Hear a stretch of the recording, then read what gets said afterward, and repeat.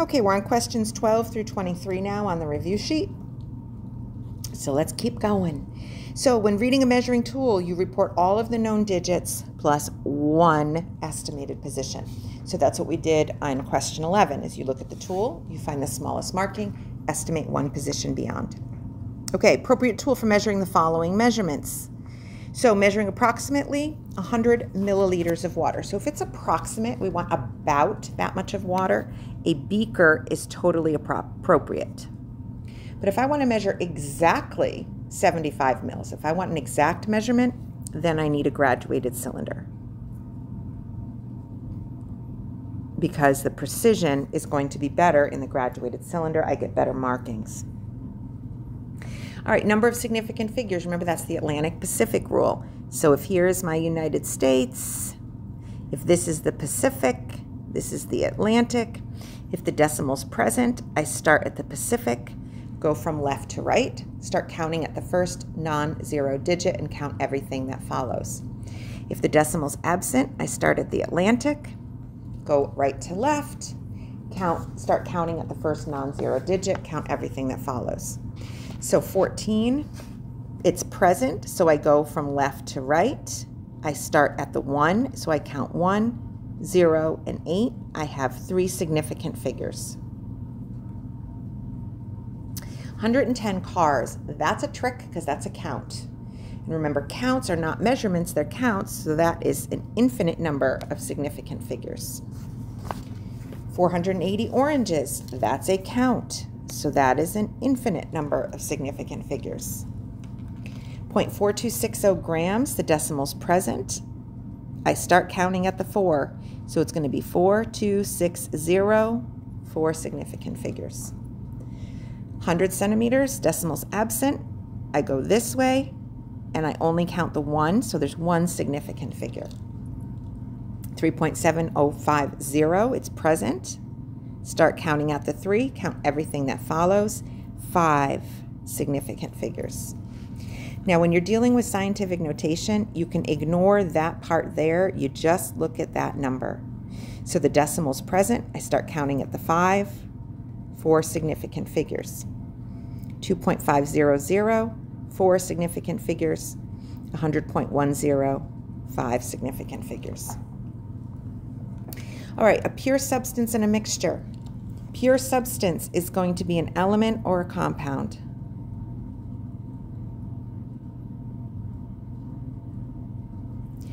And in an element and a compound, everything in that sample is identical.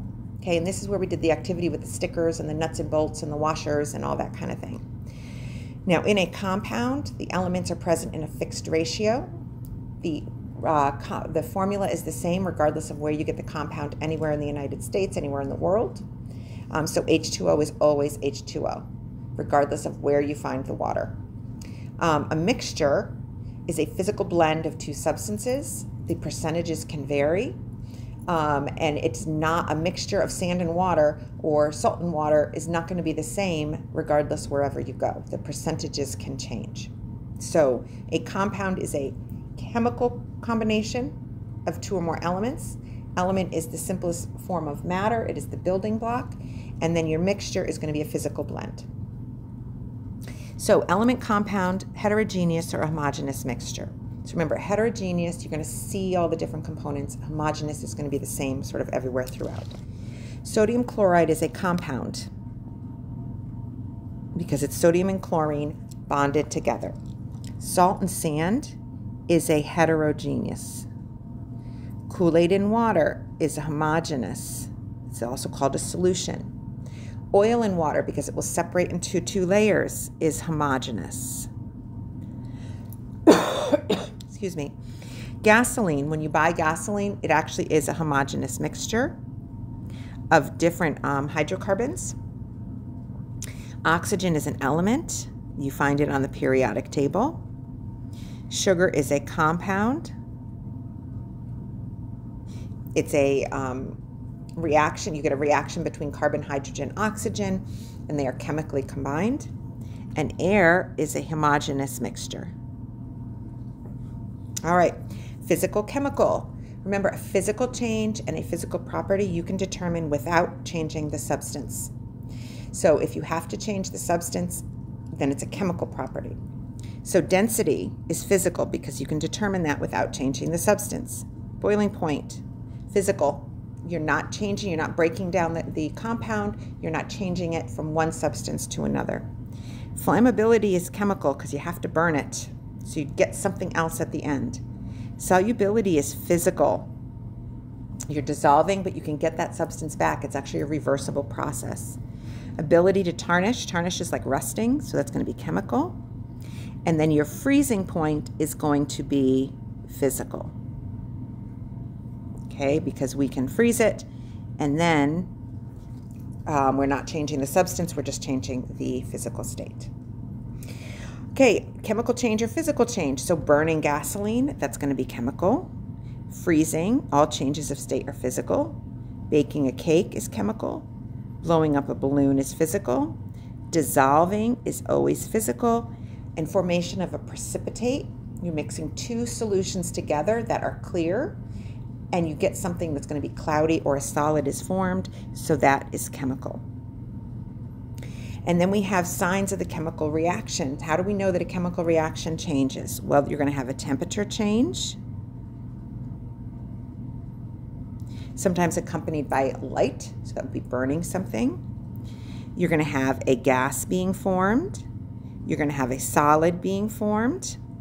That is going to be formation of a precipitate. Sometimes there's an odor change um, solid gas odor, temperature, for, um, color change sometimes. Okay, but a color change by itself isn't necessarily an indication of a chemical change because things can co change color without being a chemical reaction, but those are the general ones you're looking for. All right, independent, dependent, constant control. So independent variables, what I change. Dependent variable depends on the independent variable, and we measure it at the end of the experiment. Constant is everything you keep the same, um, and then a control is what you compare everything against. So we have 10 grams of marble chips and react it with 100 mils of HCl. We collect carbon dioxide to determine the rate. The student runs the same experiment but uses 20 grams of marble chips and 100 mils of HCl. So what is it that we're changing? Well, we changed the amount of marble chips. So that is the independent variable. And we are measuring the amount of CO2 given off. So that's the dependent.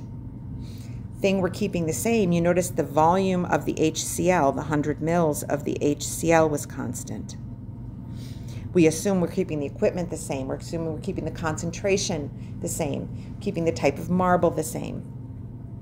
And this is going to be a chemical reaction because bubbles are given off. All right, calculating molar mass. So remember, you add up all the masses of the individual elements. So you need a periodic table for this. So your molar masses are going to be one magnesium, which is 24.31. I have two oxygens, which is 16. And I have two hydrogens, which is 1.01. So we have plus 2 times 16 plus 2 times 1.01. And when you add those together, go 2 past the decimal on this, and we get 58.33, and the unit is grams per mole. All right, CO2, it's going to be 1 times the mass of carbon, which is 12.01, plus 2 times the mass of oxygen, which is 16, so it's going to be 44.01 grams per mole. Okay? And then H3PO4 is going to be 3 times 1.01. That's the mass of hydrogen. It's going to be 1 times the mass of phosphorus, which I actually don't have in front of me, which is 30.97. And then 4 times the mass of oxygen, which is 16. And I don't have the answer to that in front of me, but you would just add those all together. Okay, Now doing mole conversions. So what I would recommend is set that and put that mole map on your um, sheet. Either put the steps down or put the little steps that you need to take. So remember, mole was in the center. We can go back and forth between particles, volume, and mass. So if I want to get to particles, I use Avogadro's number. If I want to get to volume, I use the 22.4, which is the molar volume. If I want to get to mass, I use molar mass, which is what we just practiced doing in question 21. So if I have 3.2 moles of sodium carbonate, mole is mentioned once, I need one conversion. So all what I need to do, oh, I do have H3PO4 in front of me. I lied, 96.99. Okay, so if I want to go from moles to molecules, what I need to do is I need to do one conversion. Molecule is a particle, so I'm going to need to use Avogadro's number. And then I'm going to use train tracks in order to figure out do I multiply or do, do I divide. So if I have 3.2 moles, put it over 1, mole comes down. Oops, something funny is happening here.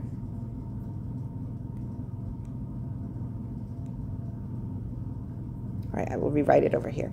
So 3.2 moles put it over one, mole comes down, molecule goes to the top, one is always going next to mole, and then I have, where did it all go? 6.02 times 10 to the 23.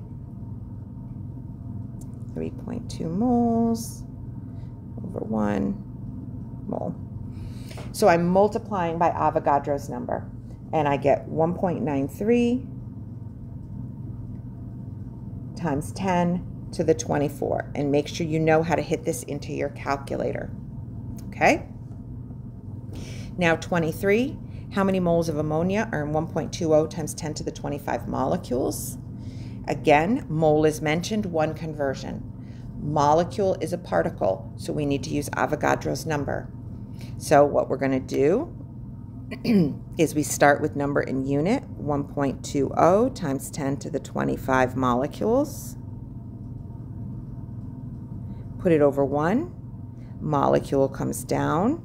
Mole goes to the top. Put a 1 next to mole, which means the only other place we have is to put it in the denominator. 6.02 times 10 to the 23. So now I take top and divide by bottom.